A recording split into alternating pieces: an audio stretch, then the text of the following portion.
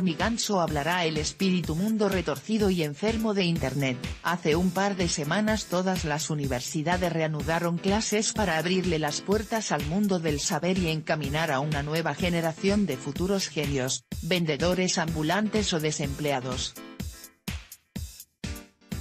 La máxima casa de estudios, la UNAM, alberga entre sus aulas uno que otro estudiante, fósiles al por mayor y las vistas ideales para grabar un video de reggaetón de Lucielito Mix Mátalos, papi. Pero como siempre hay que estar a la vanguardia, destacando e imponiendo moda o como dicen por ahí, renovarse o morir, esta chica ya le dio calor a las islas pues al puro estilo de Luna Bella, faltosa y sin mucho estilo, puso a prueba su amor al exhibicionismo y se tomó unas fotos muy decentes.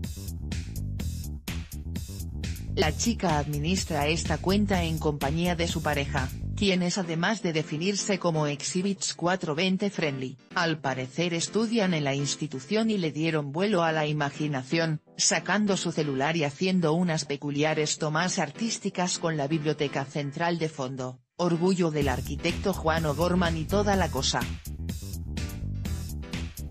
Algunos de los más de 60.000 fans ya hasta le recomiendan lugares para interactuar dentro de la universidad pues al parecer la onda colegial es lo de hoy. Estos pillines de Twitter ya han hecho de las suyas en otros lugares concurridos y famosos sin ser descubiertos o detenidos, hoy en día la UNAM no puede salvaguardar la seguridad ni vida de sus estudiantes, pero sí te ofrecen videos de música de esa de ambiente, nudes a plena luz el día, unas canchitas de front y desde luego un campo abierto para seres galopantes como tú.